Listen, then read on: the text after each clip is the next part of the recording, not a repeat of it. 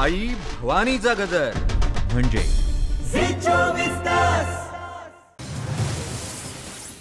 शिवजयंती साधेपणानं साजरी करण्याचा जी आर मागे घ्यावा अशी मागणी करत मराठा क्रांती मोर्चानं औरंगाबादमध्ये निदर्शनं केली. क्रांती चौकात राज्य सरकार विरोधात जोरदार घोषणाबाजी करण्यात आली. मंत्री मोठमोठे मेळावे घेतात मात्र शिवजयंतीसाठी शंभर लोकांची अट का घातली जाते असा सवाल यावेळी करण्यात आला.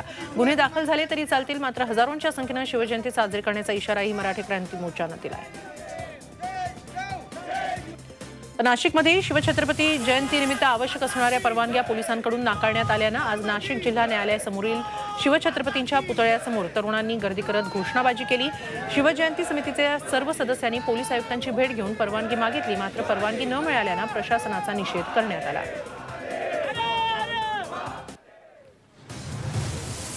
राज्य शासनानं शिवछत्रपती पुरस्कार विजेत्या खेळाडूंना थेट नियुक्ती देण्याचं आश्वासन देऊनही अद्याप सरकारी नोकरी मिळालेली नाही. त्यामुळे राज्यभरातील जवळपास तीस खेळाडूंनी पुरस्कार परत देण्याचा इशारा दिलाय. राज्यभरातील विविध जिल्ह्यातील शिवछत्रपती पुरस्कार विजेत्या खेळाडूंनी जिल्हा क्रीडा कार्यालयामार्फत मुख्यमंत्र्यांना याबाबत पत्र पाठवली आहेत. एकोणीस फेब्रुवारीपर्यंत याबाबत निर्णय झाला नाही तर चोवीस फेब्रुवारीला शिवछत्रपती पुरस्कार शासनाला परत करण्याचा निर्णय या खेळाडूंनी घेतला आहे काँग्रेस प्रदेशाध्यक्षपदाचा पदभार स्वीकारल्यानंतर नाना पटोले यांनी पहिल्याच दिवशी आपल्या आक्रमक कार्यशैलीची चुणूक दाखवून दिली. पहिल्याच दिवशी त्यांच्या नेतृत्वात दिल्लीतील शेतकरी आंदोलनाला पाठिंबा देण्यासाठी विधान भवन ते गिरगाव चौपाटीपर्यंत ट्रॅक्टर रॅली काढली. त्यानंतर इंधन दरवाढी विरोधात स्वतः बैलगाडी हाकत त्यांनी ऑगस्ट क्रांती मैदानापर्यंत दुसरी रॅली काढली. त्यानंतर ऑगस्ट क्रांती मैदानात चले जाव मोदी ठराव मंजूर करण्यात आला. या बैठकीला मुंबई काँग्रेसचे अध्यक्ष भाई जगताप अशोक चव्हाण सुशीलकुमार शिंदे प्रणिती शिंदे यशोमती ठाकूर वर्षा गायकवाड आणि विजय वडेट्टीवार उपस्थित होते. काँग्रेसचे नवे प्रदेशाध्यक्ष नाना पटोले यांनी पदभार स्वीकारला. मुंबईतल्या टिळक भवन या मुख्यालयात त्यांनी मावळते प्रदेशाध्यक्ष बाळासाहेब थोरात यांच्याकडून पदभार स्वीकारला. विधानसभा अध्यक्षपदाच्या राजीनाम्यानंतर त्यांनी प्रदेशाध्यक्षपदाचा कार्यभार स्वीकारला. तर नाना पटोलेंच्या मदतीसाठी त्यांच्यासोबत राज्यात विभागनिहाय सहा कार्याध्यक्षांचीही निवड करण्यात आली आहे. कृषी कायद्यांना विरोध करण्यासाठी यवतमाळमधून आणखी एका आंदोलनाला सुरुवात होणार आहे. वीस फेब्रुवारीला यवतमाळच्या आझाद मैदानात शेतकरी नेते राकेश टिकेत यांची सभा होणार आहे.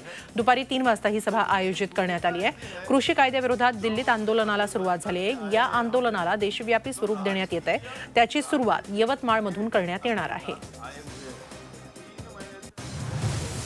राखेची वाहतूक बंद करण्यासाठी बीड जिल्ह्यातल्या दादाहरी वडगावमध्ये रास्ता रोको सुरू आहे. परळी गंगाखेड महामार्ग अडवून धरण्यात आला.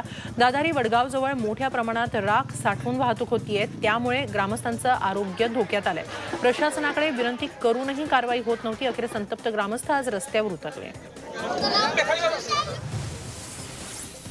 इंधन दरवाढी विरोधात राष्ट्रवादीनं आंदोलन केलं. लालसगाव जवळच्या विंचूर चौफुलीजवळ रास्ता रोको करण्यात आला. त्यामुळे नाशिक औरंगाबाद महामार्गावर वाहनांच्या रांगा लागल्या होत्या. केंद्राविरोधात जोरदार घोषणाबाजी करण्यात आली. तातडीनं दरवाढीवर नियंत्रण मिळवलं नाही तर तीव्र आंदोलनाचा इशारा यावेळी आंदोलकांनी दिला.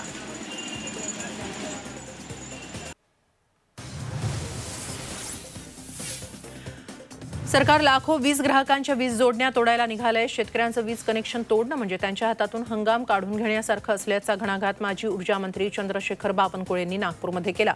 मागील सरकारनं शेतकऱ्यांच्या वीज जोडण्या तोडल्या नव्हत्या याची आठवण त्यांनी करून दिली. महावितरणवाले आले तर वीज तोडू देऊ नका संघर्ष करा असं आवाहनही बावनकुळेंनी जनतेला केलं.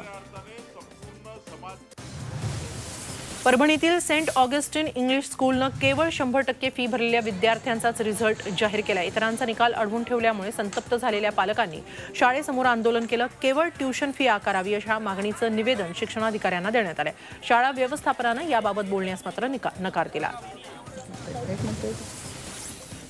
आज लातूर महापालिकेची ऑनलाईन सर्वसाधारण सभा ठेवण्यात आली होती पण सत्ताधारी काँग्रेसच्या महापौरांसह केवळ चार नगरसेवक ऑनलाईन उपस्थित होते. यावरून भाजपच्या नगरसेवकांनी ऑनलाईनच गोंधळ घालायला सुरुवात केली. कोरोनाच्या पार्श्वभूमीवर गेल्या वर्षभरापासून लातूर महानगरपालिकेची सर्वसाधारण सभा झाली नव्हती. आजच्या सभेत वीस महत्त्वाचे विषय होते मात्र एकमेकांना विरोध करण्याच्या नादात ऑनलाईन सभेचाही बराच काळ निघून गेला.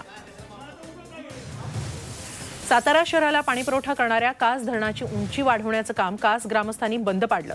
धरणाच्या कामात जमिनी जाऊन देखील अद्याप पुनर्वसन नाही. गावाचा शेत जमिनीला जाण्यासाठीचा रस्ता नाही.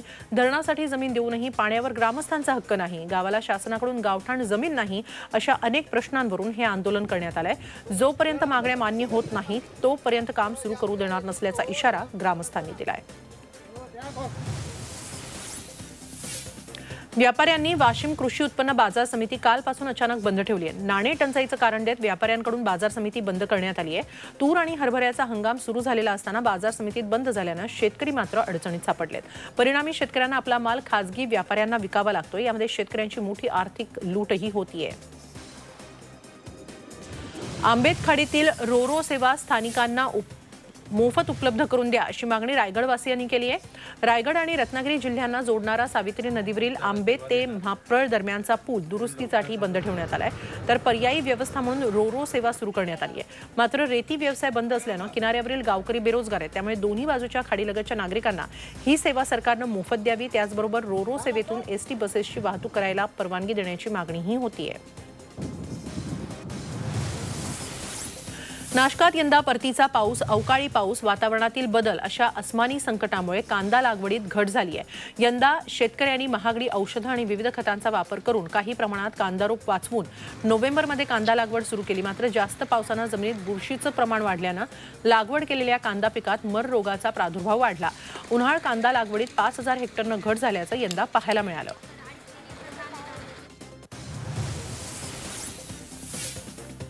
रेल्वे प्रवाशांसाठी एक चांगली बातमी येत्या एप्रिल महिन्यापासून सर्व पॅसेंजर ट्रेन्स पूर्ण क्षमतेनं सुरू होणार आहेत. होळी सणाच्या पार्श्वभूमीवर तसंच सध्याच्या कोरोना स्थितीचा अंदाज घेऊन रेल्वेकडून पूर्ण क्षमतेनं ट्रेन सुरू करण्याची तयारी केली जाते आता केवळ पंतप्रधान कार्यालयाकडून परवानगी येणं बाकी आहे. सध्या केवळ पासष्ट टक्के पॅसेंजर ट्रेन सुरू आहेत. देशात मेट्रो आणि इतर उपनगरीय सेवा सध्या सुरू आहेत. कॅटरिंगबाबत मात्र रेल्वेकडून आयआरसीटीसीला कोणतेही निर्देश मिळालेले नाहीत. मुख्यमंत्री उद्धव ठाकरे यांनी पालघर जिल्ह्याचा दौरा केला. पालघर जिल्हा नव्यानं अस्तित्वात आला असल्यानं जिल्ह्यासाठी लागणाऱ्या आवश्यक सुविधा निर्माण करण्यात येणार असल्याचं मुख्यमंत्र्यांनी यावेळी सांगितलं. पर्यटनाच्या दृष्टीनं जिल्ह्याची भौगोलिक रचना अनुकूल असून पर्यटन विकासाच्या माध्यमातून जिल्ह्याचा विकास करणार असल्याचं आश्वासन मुख्यमंत्र्यांनी दिलं. कोरोनामुळे ठाणे जिल्ह्यातील मलंगगडावरील यात्रा रद्द करण्यात आली आहे. अंबरनाथ तालुक्यात दरवर्षी ही यात्रा भरते. मात्र यंदा कोरोनाचा धोका लक्षात घेता ही यात्रा रद्द करण्यात आली आहे. उल्हासनगर प्रांत कार्यालय पोलीस उपायुक्त प्रांत अधिकारी आणि मलंगबाबा दर्गा ट्रस्टचे अध्यक्ष यांच्यात चर्चा झाली. त्यात यात्रा रद्द करण्यावर एकमत झालं. बावीस फेब्रुवारी ते दोन मार्चपर्यंत ही यात्रा चालते. या यात्रेला राज्यातील विविध भागातून लाखो भाविक हजेरी लावतात.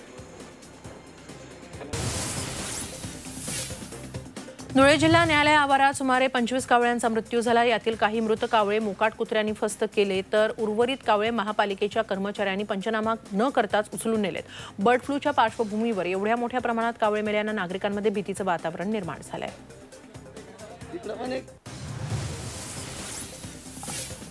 अविनाश भोसले यांनी मुंबई हायकोर्टात धाव घेतली आहे. ईडीनं दाखल केलेला गुन्हा रद्द करण्याची याचिका अविनाश भोसलेंनी दाखले दाखल केलेली आहे. मात्र अविनाश भोसले यांना हायकोर्टानं कोणतीही सवलत दिलेली नाही. अविनाश भोसले यांच्या याचिकेवर आता सोमवारी सुनावणी होणार आहे. राष्ट्रवादी काँग्रेसचे ज्येष्ठ नेते आणि माजी केंद्रीय मंत्री प्रफुल्ल पटेल यांची पुन्हा एकदा ईडी चौकशी करणारे ईडीच्या सूत्रांकडून मिळालेल्या माहितीनुसार येत्या काही दिवसात प्रफुल्ल पटेल यांना पुन्हा ईडी समन्स बजावणार आहे. गँगस्टर इक्बाल मिर्ची उर्फ इक्बाल मेमन याच्याशी मालमत्ता खरेदी प्रकरणी संबंध असल्याच्या आरोपांमुळे प्रफुल्ल पटेल यांची जवळपास याआधी अकरा तास चौकशी करण्यात आलेली होती. मिलेनियम डेव्हलपर्सच्या माध्यमातून मिर्ची त्याची पत्नी मेहरा हिच्याशी व्यवहार केलाय का? याबाबत चौकशी पुन्हा होऊ शकते. पुणे जिल्ह्याच्या लोणीकंद इथं झालेल्या गोल्डमॅन सचिन शिंदे हत्या प्रकरणी पोलिसांनी तिघांना अटक केली. नऊ फेब्रुवारी रोजी सचिनची गोळ्या झाडून हत्या झाली होती. त्यानंतर अठ्ठेचाळीस तासात पोलिसांनी आरोपींना जेरबंद केलंय. रोशन कुमार साहू सनी शिंदे आणि सचिन शिंदे अशी अटक करण्यात आलेल्यांची नावं आहेत. जुन्या खरेदी मुद्रांकामध्ये संगणकाच्या मदतीनं छेडछाड करून जमिनीची परस्पर विक्री केल्याचा प्रकार नाशिकच्या देवळामध्ये समोर आलाय. भास्कर निकम यांची मेशी इथं वडोलोपार्जित शेत जमिनीची अशी परस्पर विक्री करण्यात आली आहे. जिल्हा मुद्रांक अधिकाऱ्यांनी देवळात दुय्यम निबंधकांचा पदभार काढून घेत चौकशी सुरू केली आहे. ही बनवाबनवी करणारी मोठी टोळी सक्रिय असल्याचा संशय व्यक्त होतोय. व्यसनाधीन पित्याची मुलगा आणि आईनं सुपारी देऊन हत्या केल्याची घटना तब्बल दीड वर्षानंतर उघडकीस आली. चौदा ऑगस्ट दोन हजार एकोणीस रोजी नांदेडच्या सरपंच नगर भागात शरद कुराडे यांचा मृतदेह घरात सापडला होता. आधी आत्महत्येची नोंद झाली होती. मात्र शवविच्छेदन अहवालात शरीरावर तीक्ष्ण हत्यारांचे चौदा वार आढळले. अधिक तपासात पत्नी आणि मुलांनी एक लाखांची सुपारी दिल्याचं उघड झालं. पत्नी आणि तीन अल्पवयीन मुलांसह सहा जणांना अटक करण्यात आली आहे. मावळमध्ये देहू रोडवरील मुख्य बाजारपेठेतल्या झाडावर जादूटोणा करण्यात आला. अज्ञात व्यक्तीकडून झाडावर काळी बाहुली खिळे टोकून लावली होती. अखेर याबाबत माहिती मिळताच अनिसच्या कार्यकर्त्यांनी जादूटोणा केलेल्या सर्व वस्तू काढून टाकल्या. या प्रकरणी चौकशी करून कारवाईची मागणी अनिसकडून करण्यात आली आहे. नागपुरात बोंदू बाबाला अटक करण्यात आली आहे. गिरी महाराज उर्फ राज साहेबराज मंदी असं या बोंदू बाबाचं नाव आहे. मुलाला भूतबाधा झाल्याची भीती दाखवून त्याने माला शर्मा या वृद्ध महिलेकडून एक लाख रुपये उकळले. इतकंच नाही तर घरात गुप्तधन असल्याचीही बतावणी केली. फसवणूक झाल्याचं कळताच माला शर्मा यांनी पोलिसात तक्रार केली. तक्रारीची दखल घेत पोलिसांनी मंदी याच्यासह त्याचा सहकारी रणजित याच्या विरोधात गुन्हा दाखल केलाय आणि मंदीला अटक केली मराठ्यांची तळपती तलवार. म्हणजे?